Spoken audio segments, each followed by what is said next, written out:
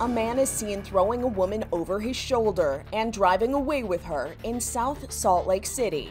22 year old Carl Gravitt has been arrested, booked into jail for kidnapping, assault, and other charges.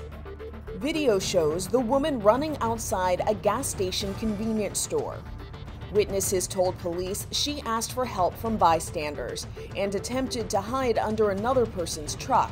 When Gravitt picked her up, police say witnesses told them she was kicking and screaming, Help me, please help me. An Amber Alert for child abductions was issued when the victim was thought to be a teenager due to her small stature and a size 3 shoe left at the scene.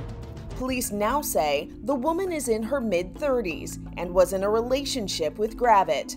The two were found together inside an allegedly stolen vehicle. Investigators identified Gravitt as their suspect after matching his tattoos in a database.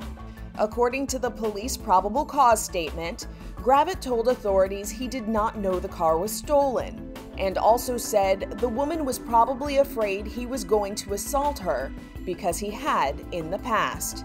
Carl Gravitt is being held without bail. This is Inside Edition Digital.